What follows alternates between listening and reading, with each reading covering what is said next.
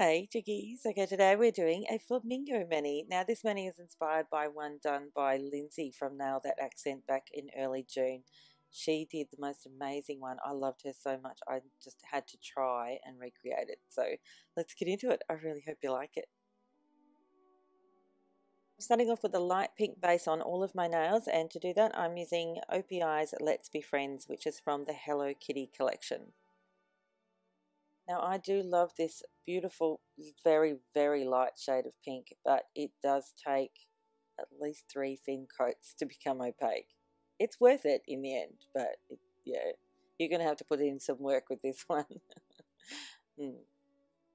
Now after waiting about five minutes between the first and second coat, and then coming in with the second coat, and then wait another about five minutes for uh, it to dry enough to do the third coat and then you reach complete opacity. Yay! so the next step is to do the teensiest bit of cleanup because I've been quite good with uh, painting this particular nail. Um, of course I'm using my Royal Majestic brush and my non-acetone remover, details of which are in the description box down below someone asked me about uh, where I get it from in the comments of my previous video. I think it was Manisha M. Um, so yeah, all the details about everything I use is always in the description box down below. Always. Always, always, always. Unless I forget. In which case, go ahead and remind me. So the next step is to add a coat of Seche Vite. I do this always before doing any nail art, and particularly if I've done three coats of polish, because Seche Vite has a unique property in the fact that it dries through the layers of nail polish. Now, I'm not sure if you'd be able to do that with Polish Mountain.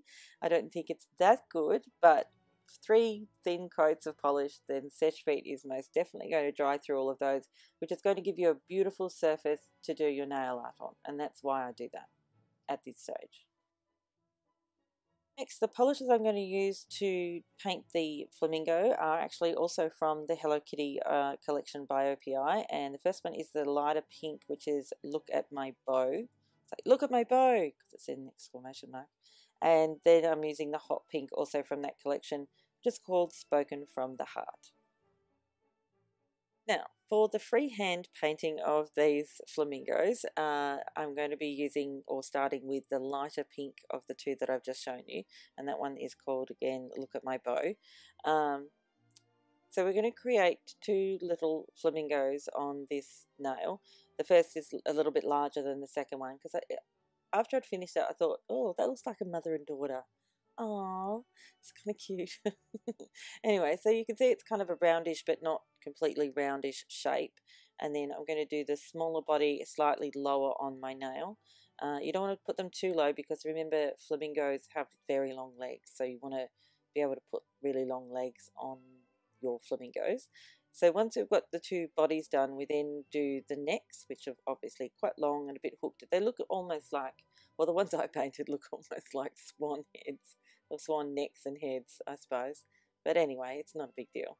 Uh, so yeah, and still using this lighter shade of pink.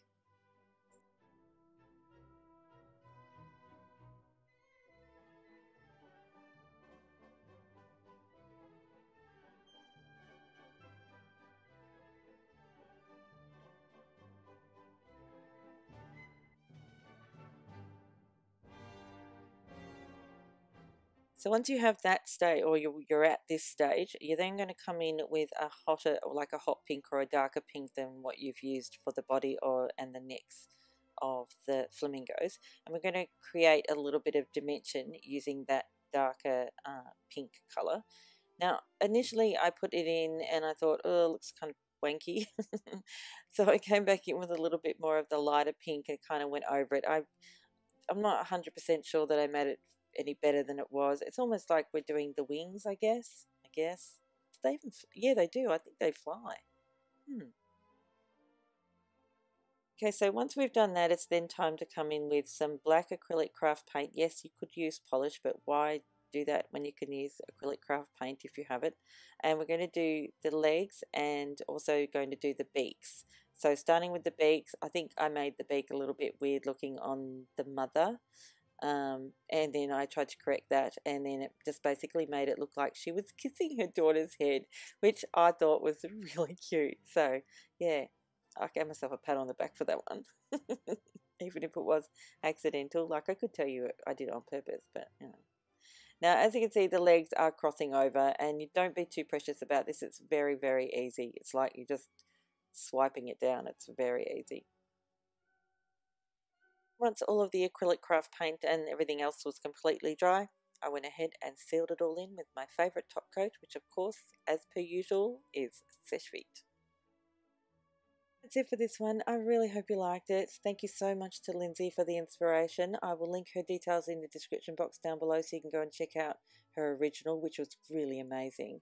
Way better than mine. Uh, I think she posted it on the 7th of June, so go and check it out. Anyway, thanks again for watching. I'll see you next time. Bye, chickies. Oh, and thank you for subscribing, and thanks for that delicious thumbs up. Bye.